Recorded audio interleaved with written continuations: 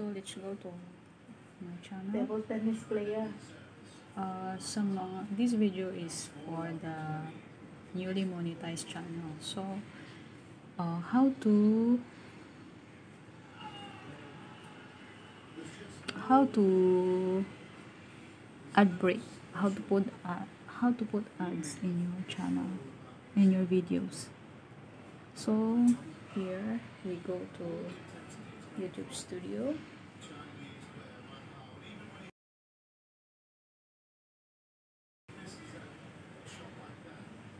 Okay. Ayan. Yan na po yung makikita mo sa youtube studio.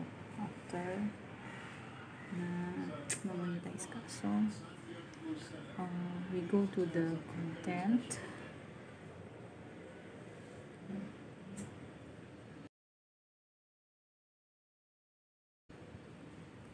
after ayan. Ayan na po yung mga videos ko. Ayan. Ayan. Madami na siyang mga dollars dollars. Lahat ng videos mo mak- makikita ka na dyan na dollars. And then here sa monetization dapat lahat yan naka-on. Except those unlisted and private videos na nilagay na nasa na in-upload mo. So, uh, so paano natin, paano tayo maglagay ng ads? So, let's go to this. Aha.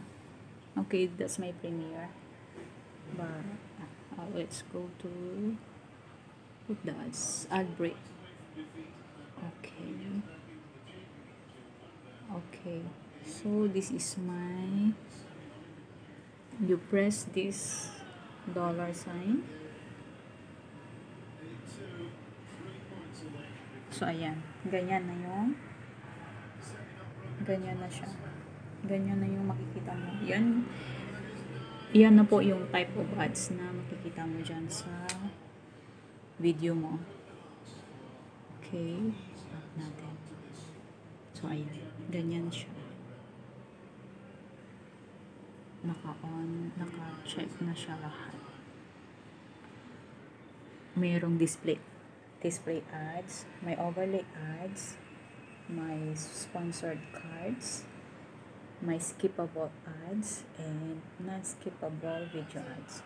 So, paano tayo maglagay ng ad break?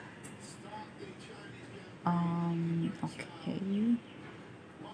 Ito po yung manage, manage mid rules.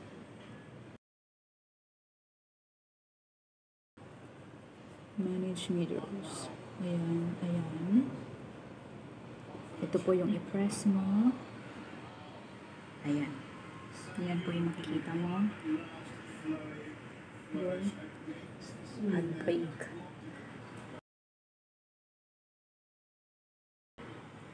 Huwag ka pong bumunta dyan sa place automatically. So, you press nyo po yung ad break. Yan. And then, just put the arrow down there kung saan nyo po gustong lagyan ng ads. Then, press continue. And, save. Ayan. Ganyan. So, ayan. Ayan na siya. Na-save mo na. So, if you want to put more ads in your video, just simply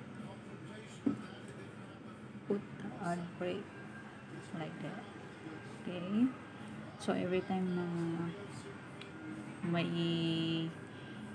may i-add po kayo na video, dapat naka-save po yan lagi. So, ayan. So, ganyan lang po ang paglagay ng ad break. Uh, oh, yan. Yan po ang paglagay ng ad break sa isa aking sa inyong video. So, ganyan.